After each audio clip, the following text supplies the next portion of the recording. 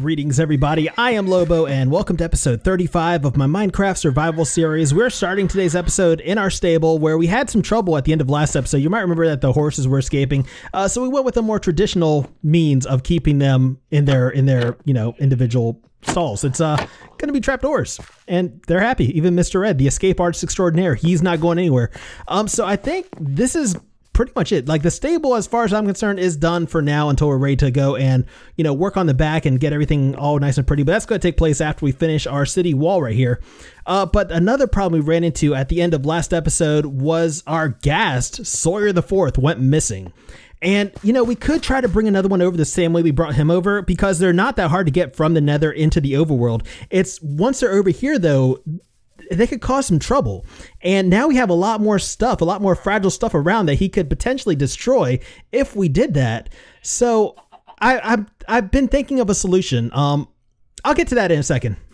But first, did you guys notice I, I, tore down one of our last remaining villager houses to make some room here? So we just have this one right here and this one right here left, and they are actually going to be gone uh, fairly soon. So that's going to be it for our original village. That's that's it. That's going to be gone. Uh, we'll replace it with all new stuff. But yeah, um, over here, back to back to the plan. We need a renewable way, a repeatable way to get ghast up in here, so that way we can continue to break logs. So you can see I've replaced the floor with half slabs, top slabs. So I was thinking we could ride the ghast up here and you know we could make a place to actually get them like our holding area down here where we could get the ghast. We could ride them up here and they won't take any damage. Theoretically coming up here since they won't be traveling through any full blocks. So that's a potential idea. Like i don't know if this is going to work or not. This could be this could be craziness but i think we could have an underground ghast holding area that rides up into this workspace up here and I don't know. I don't know. Let, let me clear some of this area out, and, and we'll see if this works or not. I have no idea. And we're back, and I have a hole dug. I dug a hole. I have my Sawyer the Fifth name tag on me. I believe we are on Sawyer the Fifth at this point. It's kind of hard to remember, uh, but yeah. Um, let's go ahead and talk about the plan. So you might notice that this area is significantly smaller than the original one we had for capturing our Sawyers, and that's because I need them contained in as small an area as possible in order to get them into the minecart right here. Um, so I'm fully expecting that the first few at least will probably die because I want to keep this as small as possible. Like I'm, I'm not expecting this to work on the first, second, or even third attempt, but I am prepared to do multiple attempts because getting them from the nether into the overworld is, is the easy part. So once they are over here, that is where the fun begins. Uh, so I've made some little hidey holes, some little little pockets where I can kind of peek out of. And what I'm thinking is we can get a fishing rod and kind of pull him left, right, up, down, however we need to pull him to get him into this minecart, uh, which is stopped now for some reason. Did I walk in front of it? I might have. So once he is in the minecart, then we'll come back over here. We will put a piece of track down right here, which should connect those and take him all the way up to his work area upstairs that is the plan at least. Let's hope it works. So the first thing we need to do is we need to make sure this portal actually links up with the portal in our ghast room in the nether. So let's pop on through and check that out. Mm, okay, yes, yes, yes. All right, so perfect. That lines up perfectly. Hopefully it's the same way going back through on the return trip. Fingers crossed. And yes, yes, we're home. All right, awesome. So all that's left to do now is we'll go ahead and grab a fishing rod and then we'll try to catch Sawyer the Fifth or at least his precursors. So I'm going to go ahead and do that. I don't know why I went around the long way, but yeah, I'm going to go ahead and do that and I will be right back. All right, a fishing rod has been obtained and I feel woefully underprepared. I did not do any fire resistance potions, I'm realizing. We also have fires everywhere. Oh man, this is to be bad. I'm not going to use the name tag once uh once this next ghast spawns. I should have brought some cobble. Oh, Okay, okay, we have a ghast. We have a ghast. Uh, we have to not name tag him, so we need to put this away. And oh no, did I name tag him? What did I do with it? What did I do with the name tag? Oh no, please tell me I just dropped it. I think I just dropped it. Oh man, I'm still getting used to the controls again. there it is. Okay, perfect, perfect, perfect. All right, so we have to not name tag him, but we do have to get him through the portal uh, because there is a strong possibility, I would say an 80 to 90% chance that he will not survive this trip to the overworld. Hopefully he survives at least getting to the portal. Hopefully I survive getting to the portal because I am on fire right now. Hopefully my armor can take it. I think we have good durability on this armor right now. Um, but come on. Come on, just go. Why? They're so stubborn, aren't they? Oh, man. Just go, go. Pushing him might not be the best method of doing this, but that's like what's okay. That's what what has worked for me the best so far. All right, so let's go ahead and head on through, and we'll see just where he spawns in the overworld, like in relationship to the portal itself. And because before it was at the top left, and this time it appears okay. So he's at like the mid to top left of the portal. That's interesting because it's right from looking at the portal from the back, but you know, left if we're out in front of the portal. Uh, so that's that's interesting if they if they just spawn in that area naturally. Anyway, what I have to do is I have to carve out some area for him to actually survive in in this part of the the portal room. So um, yeah, I'm gonna go ahead and take care of that, and we'll get ready for attempt number two. Now that we have a little bit more space in here, hopefully the next one will survive the return trip. Um, I made it a little bit wider in case he, you know, in case there's some variation between where he spawns in the overworld. Uh, but I wanted to keep it short because we have no problem pushing him. It's if he gets too high, he's definitely hard to get down. So let's go ahead and give attempt number two a shot. And this time I, I have some cobblestone on me, so we can go ahead and start filling in some of these craters that uh, these past ghasts have left uh, because, well, number one, they make it so it's a non-spawnable space, right? So we have to have the ghast spawn here. We also need to make sure that we don't fall down into them uh, because that makes it hard for us to get out. And also, if he blasts any more of this out, I'm not sure how thick this floor actually is. And I know that there's at least I think there's a lava lake beneath us. And that's why we don't really have an issue with getting these ghast to spawn because there's not really many spawnable surfaces anywhere else in this area. Um, so yeah, I'm gonna go ahead and fill in as much of this area as I can before the next one spawns. And I'll be back with you guys in just a few. Now, I'm mainly worried just about the middle here. Like, I'm going to leave some of the fires burning along the outside because that's what you and I are both going to be using to see. Otherwise, it's going to be super dark here since it is in the nether. Um, but I just want to get this middle path kind of cleared out so that way you know I don't have to worry about falling in any holes. I don't have to worry about catching on fire as we run up to the ghast. Hello. Oh perfect. You are in perfect position my friend. Just stay right there. Just stay right there. Okay.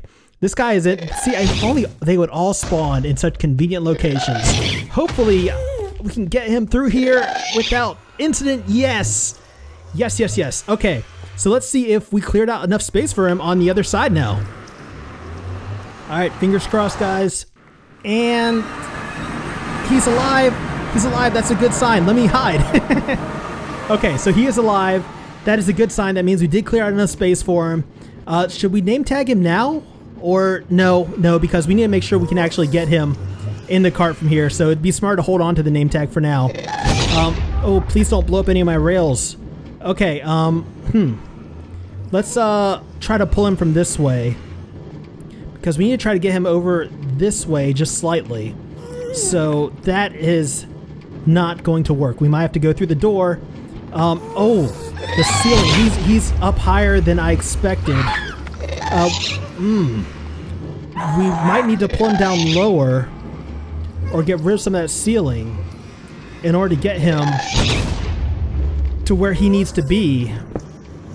See if we can kind of get this angle on him. That's not working, is it? That is not working at all. Okay, um, hmm. Let's go ahead and try to get rid of this, uh, okay.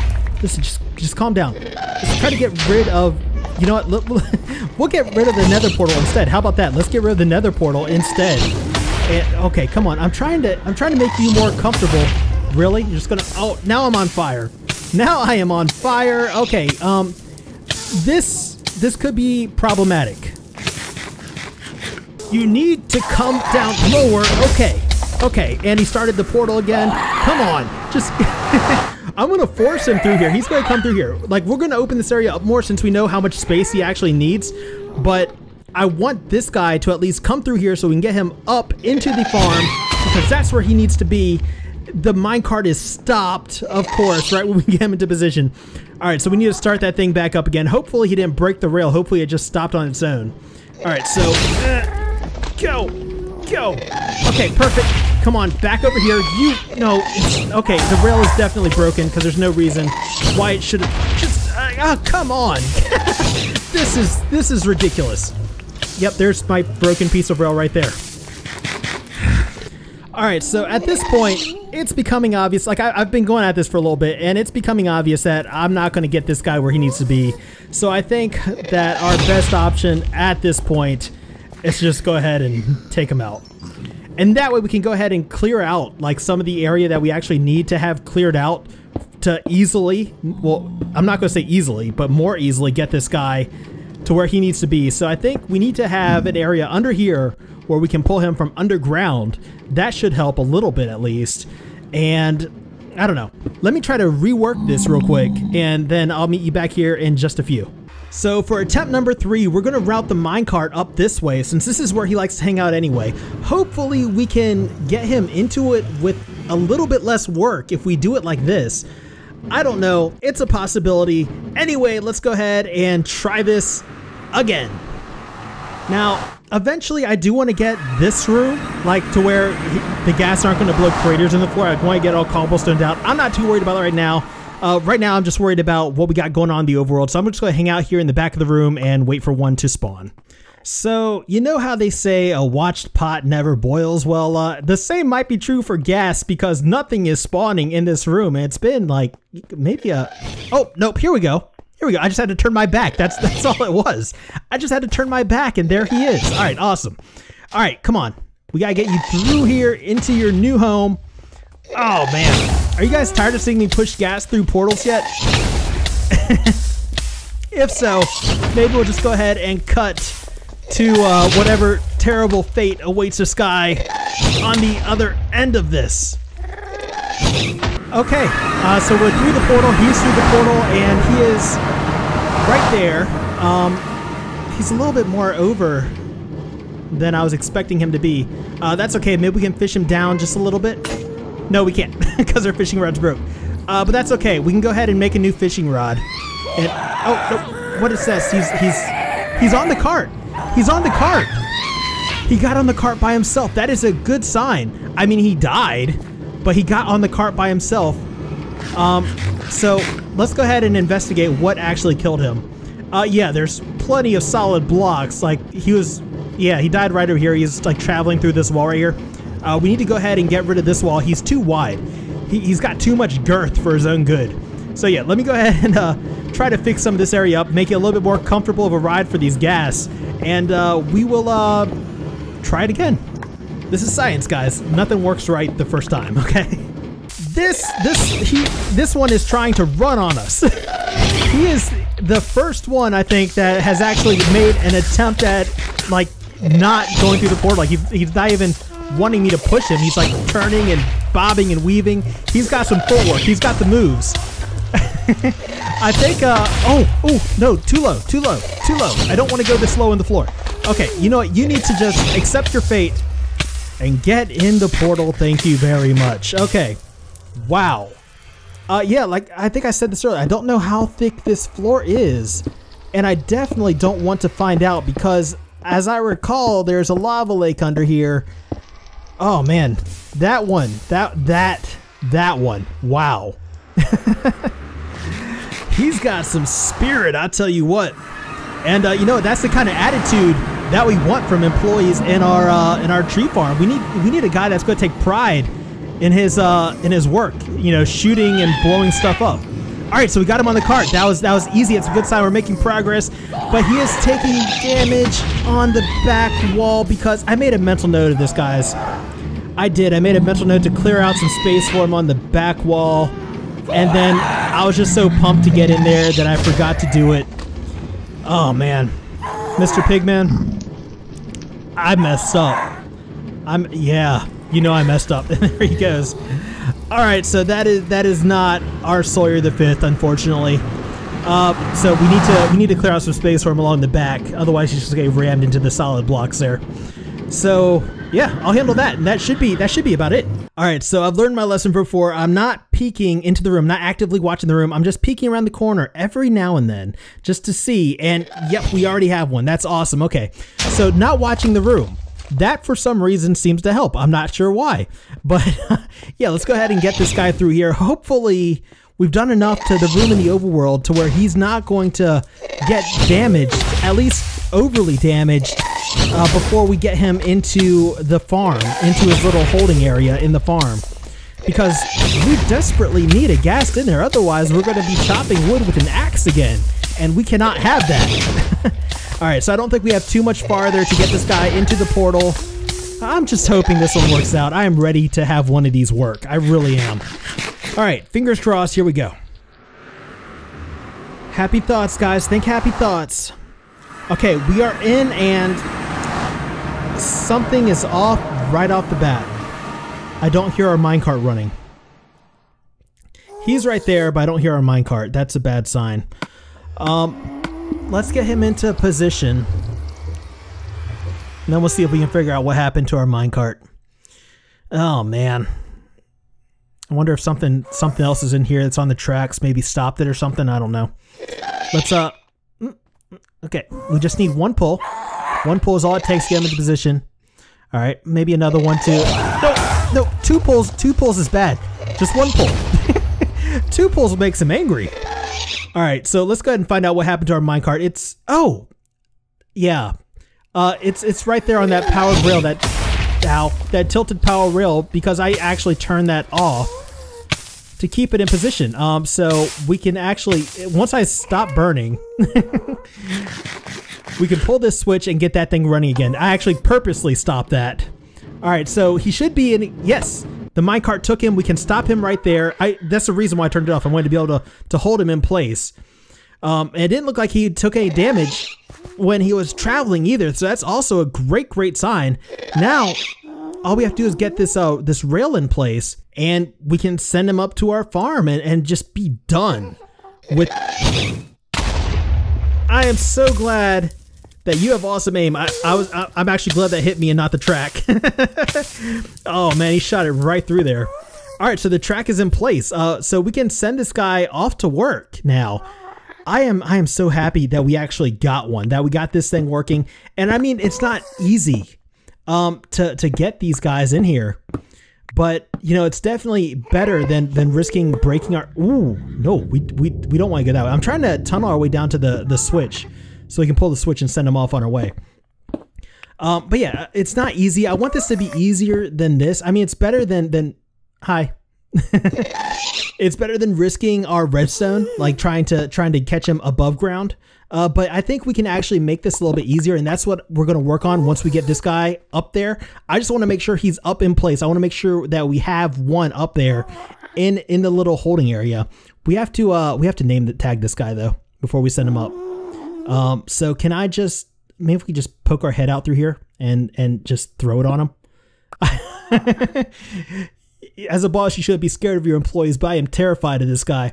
Uh, Sawyer, uh, can can you wear this name tag, please? It's part of the uniform. It's part of the dress code for our tree farm here.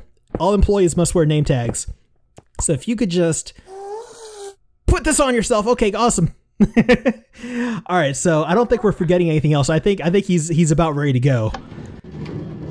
So let's see if he actually made it up there. I'm hoping nothing else went wrong. I'm hoping this Yes, yes, yes, yes. Awesome, awesome, awesome, awesome. Uh, something I didn't think about. Well, I was gonna say something I didn't think about was do they shoot fireballs while they're inside of minecart so we don't have to actually let him out? But the answer is obviously yes. Uh, we've been getting blasted on this whole time. So, congratulations, us. Our farm is whole again. Our tree farm is whole. I have never been so happy to be shot at by a ghast, but this is awesome. He's in there. He's ready to work. We're not even open for business yet like, and he's he's just ready to get started. I love that attitude. Uh, but the next thing we need to work on is the hole we dug. We need to make it look better. We need to add a little bit more functionality to this whole area down here. Um, so as far as looks go, uh, we did some science today, and I was thinking maybe like a kind of a science lab type theme, like an underground science lab. I know it's not super original, but you know, I haven't done it before. I was also thinking we maybe add some pistons in here so we don't have to use our fishing rod to get him into position. Uh, I don't know. We'll work on that. I'm still in the rough stages of planning right now, but uh, yeah, let's put on some music and try to figure this out.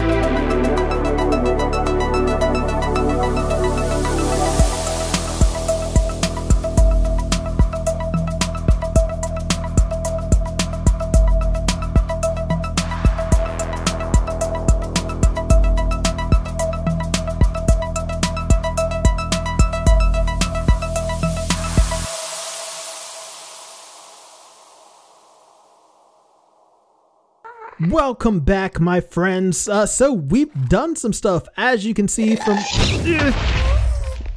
Whoa, whoa, Sawyer. Whoa. oh man, are you done? Wow. Okay, moving on.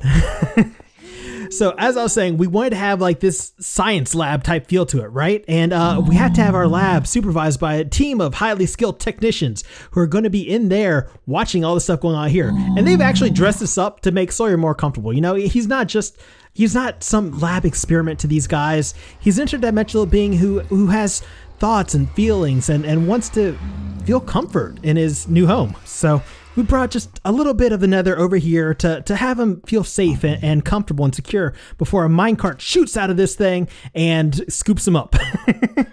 uh, we have, we've added a, quite a few little redstone contraptions here. I'll go ahead and show you those real quick. So we have this right here, a double piston extender with a slime ball can just to kind of push him over this way.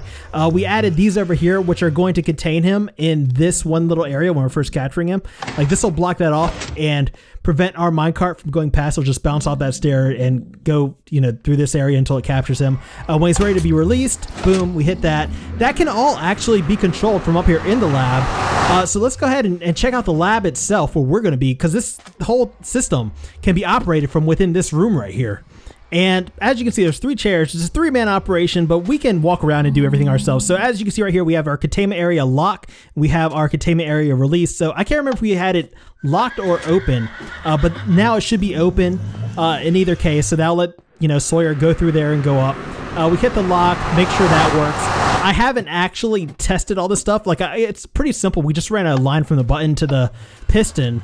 Um, but you know, just to make sure before we do something silly, yeah, okay, that works. Awesome, awesome, awesome. Uh, we can head back up here, try out some of our other systems real quick before we give this thing an actual test run. So we have our hold entity and release entity that actually just controls that powered rail right there. So it turns it on and off. Uh, turns it off when we want him just to sit right there on the on the slope. We turn it on when we want to release him into his work area.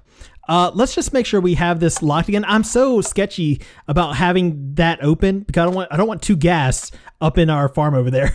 So reposition entity, that just basically controls pistons in the ceiling and that double piston extender I showed you earlier, uh, which is going to position him directly over this rail so the minecart can actually pick him up. Uh, and finally, we have the button here which launches the minecart out to catch him. And keep in mind, all this is just to make it easier for us to get another ghast in case Sawyer the 5th goes missing, as Sawyer the 4th did. So you can see here I've got my Sawyer the Sixth name tag. Uh, he's basically just going to be sitting here warming the bench until such a day comes that Sawyer the Fifth goes missing. Anyway, um, I was thinking we could go ahead and test this whole system out by capturing Sawyer the Sixth and just having him wait here. Oh, something else I want to show you guys. Look, this is what he's going to be seeing. He's going to be seeing a little skull, like a skeleton over there controlling his uh, his uh, destiny. All right. Anyway, let's head on through. Now, I, I, gotta say, I feel pretty confident in the fact that, like, we. Ow! Are you. Are you serious right now? Are you serious? You're just sitting there waiting for me? anyway, like I was to say, I, I, feel pretty confident that all this stuff is to work. I, I, I, do. So let's wait for Sawyer the Six to spawn, and we will find out. I feel like I should have brought more food. This guy is slipping and sliding. He's got some fight in him. He is all over the place. Look at his moves. Wow. I think uh, I think the cobblestone. I think these guys like ice skate over cobblestone or something because this guy is just everywhere. He is bobbing. He is weaving. He is moving. Wow. Okay. Uh, so this is going to be kind of difficult to get him through here, but I think if we could just get one good push. Whew. Wow. Okay. That was rough. He's got some fight in him. Sawyer the Six has some fight in him. oh man. All right, let's head on through. You know, I, I, do apologize if this gets kind of repetitive because, you know, it gets repetitive for me too. I'm doing the same thing over and over again. Uh, but it's kind of like that's what we're doing. We're repeating stuff. We're getting better each time we do it. Hopefully now we can do all this from in this little room right here and save us so much trouble. So let's reposition Sawyer. All right, so that should be good. Um, and then we need to make sure this is locked again, even though I know it is. And then we can release our minecart and hopefully capture him on the first attempt. Yes, bingo, perfect. All right, so this whole thing works. Now we can hold him in one spot until he's actually ready to go. Uh, we did not name tag him. Uh, let's go and do that. We have a trapdoor under here where we can actually go and get right underneath him and then name tag him. We have a series of trapdoors actually, so I think this will probably be the best one. We can Sawyer the Sixth has his name tag on. He's good. Let's make sure he didn't actually blow up the rail that he's sitting on because that would be horrible. Um, so we can release him again.